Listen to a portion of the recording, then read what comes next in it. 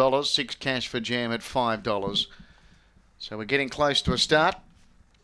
Kingsford Hotel Stake lure in motion. Ready.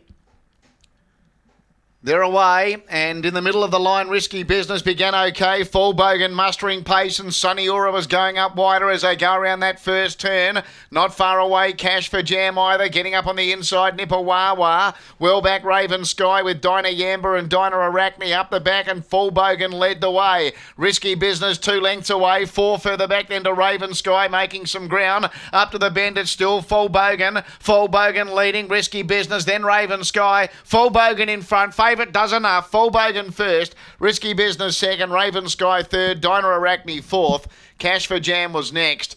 And then Dinah Yamba, Nippawawa, and Sunny Aura.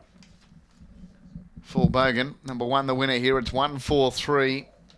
Five will be fourth. One, four, three, five in 31 33. Bogan, the winner, number one. And uh, it's used the red to advantage here by Falcon out of Boganesque. Kim Johnston trains for the Riffraff group managed by Kay Johnston. Full Bogan winning from number four, Risky Business by DJ's Octane out of Mapunga Nicky for Ray Enston. Three third, Raven Sky by Lochinvar Marlowe out of Amity Kinship for Judy Hurley. One four three, five fourth, Dinah Arachne.